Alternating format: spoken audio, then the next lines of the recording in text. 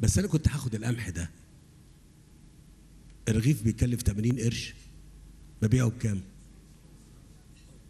خمس قروش. مش كده يا دكتور مصطفى؟ خمس قروش. يعني أنا مش باخده هبيعه حتى بثمنه لكن لو حد تاني خده هياخده عشان يتاجر فيه. طب أنتوا النهارده لو أنا ما لقيتش إن القمح اللي موجود لأن أنا عامل دايما كدولة إن إحنا يبقى عندنا رصيد احتياطي ما يقلش عن الخمس ست شهور. وإحنا حرصنا على الكلام ده بقالنا خمس سنين مش كده؟ قلنا إن إحنا يبقى دايما عندنا رصيد الرز القمح الزيوت اللحوم والدواجن ما تقلش عن إيه؟ عن ست شهور. عشان يعني ما, ما, ما, تحصلش أزمة. والكلام ده كان في البوتاجاز قبل كده كان في مشكلة وبقينا نفس الكلام موجود عنده لا بأس. فأنا كنت هاخد القمح ده بالسعر اللي أنا قلت عليه ده وبعد كده هديه للناس اللي هو للمدعم بخمس قروش. طيب لو أنا النهارده ما لقيتش الطلب ده موجود في العشرة مليون طن اللي, اللي إحنا بنعملهم في مصر بيعملوهم مين؟ مزارعين مصر. هضطر آخد منين؟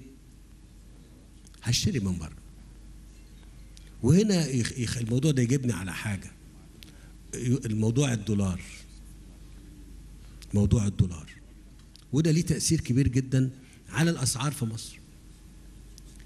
طيب أنا لما كل ما أكون فاتورتي من الدولار تزيد لازم لازم ده يبقى عبء على الاقتصاد.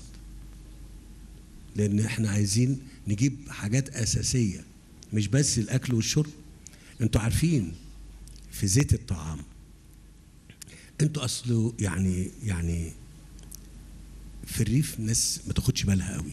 كان زمان من 40 سنة و50 سنة الريف كان بيغطي حاجته. الريف كان إيه؟ بيغطي حاجته. حد كان بيجيب زيت؟ ده كان عيب قوي. حد كان يقدر يجيب زيت في البيت زيت ذرة و ها كان عيبة جدا في الريف. يقول لك معقول إحنا ناكل بزيت؟ إحنا بناكل بسمن وسمن بلدي. حد كان بيروح يشتري بيضة من الشارع؟ حد كان بيروح يشتري فرخة من الشارع؟ من أي حتة يعني؟ لا كان البيوت عبارة عن وحدات إنتاجية صغيرة. ده كان الريف المصري اي ما كان عدده. لو كان الريف من من 40 سنة عدده 10 15 مليون كان بيغطي نفسه وكمان بيطلع جزء للحضر لعواصم محافظات ال ال يعني محافظة البحيرة يبقى يطلع لها من جوه مراكز البحيرة يطلعوا لهم بيض ويطلعوا لهم ده وده. ده ما بيحصلش دلوقتي بالمستوى اللي كان ممكن يكون فيه شوية. فبقت الدولة النهارده معنية إنها تغطي كل الطلبات ويبقى الكلام ده متوفر. إحنا تحولنا من حالة كنا موجودين بيها قبل كده لحالة تانية وبعدين بنقول إيه؟ ليه إحنا ظروفنا وليه الأسعار بقت كده؟ ما أنتوا بتتكلموا أو إحنا بنتكلم على في بلدنا مصر آه كنا في مثلا لغاية 52 19 مليون 20 مليون. صح كده؟ 19 20 مليون. كل إيه؟ كل مصر. ريف وحضر. 20 مليون 19 مليون في 52 ثم في عهد السادات الله يرحمه وصلنا ل 40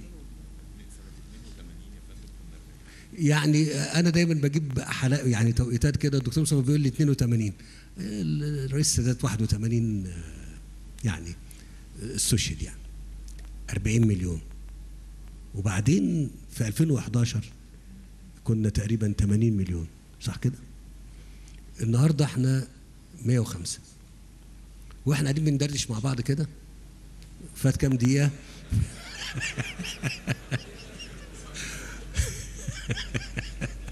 كل 15 ثانية في مولود ربنا يزيد ويبارك يعني كل إيه؟ يعني كل دقيقة أربعة. لو إحنا بنتكلم بقى لنا 10 دقايق في 40 ضيف جداد جم. كده يعني. فأرجع تاني أقول إن إحنا الحد الأدنى اللي إحنا قلناه إن إحنا يبقى فيه المواد موجودة. طب حتى لو كانت غالية شوية. بس مش ممكن ابدا. ننزل ونقول إيه؟ مفيش. بس أنا بكلمك على احتياجات كام؟ بكلمك على احتياجات 105 لا. 105 زائد 9 يبقى كام؟ 114 ف